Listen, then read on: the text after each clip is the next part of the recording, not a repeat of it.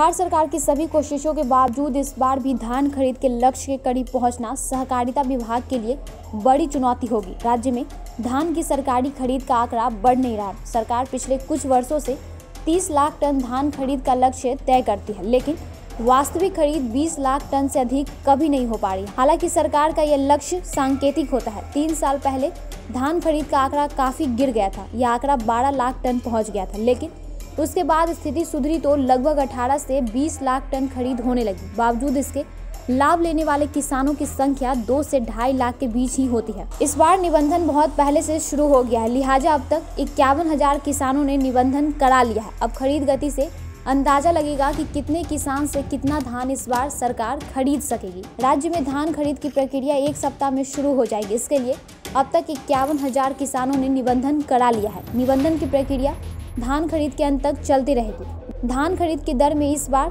तिरपन रुपये प्रति क्विंटल की वृद्धि की गई है। पिछले साल के अठारह सौ प्रति क्विंटल के मुकाबले इस बार साधारण धान की कीमत अठारह सौ अड़सठ रुपये प्रति क्विंटल तय की गई है।